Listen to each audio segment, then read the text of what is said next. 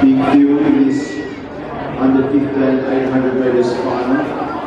Making good early there, we can see on the inside Murray from New South Wales, also there on the outside, looks to be Katelyn of North Queensland is the road here. And he's McGee coming across with the New South Wales runner on the inside there. And then we go back to the Gage of New South Wales, also rose up from the Queensland.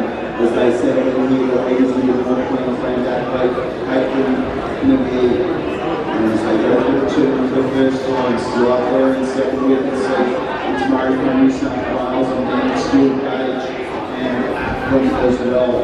And we go back to the Victorian Total leading that second group, uh, but all very close together here as they turn into the front straight for the first time.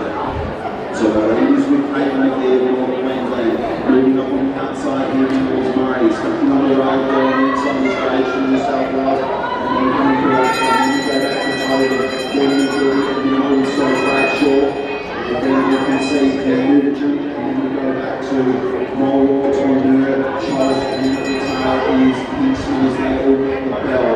So the lead here now with 300 metres left to travel, with the Queenslander, it is Katelyn McGee, the North Queenslander is in fact. So we still have on the inside there the New South Wales competitor, very number one, Shane Murray, but now moving into as well as Rose from the Queenslander. So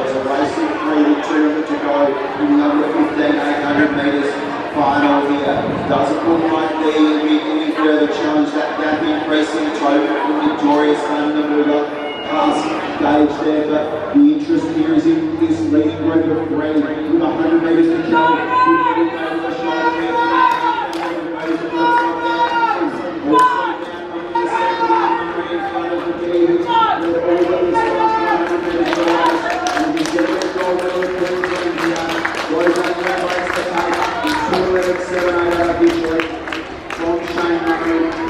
And then Katelyn McGee gets to come through there, Tobin and also Bradshaw.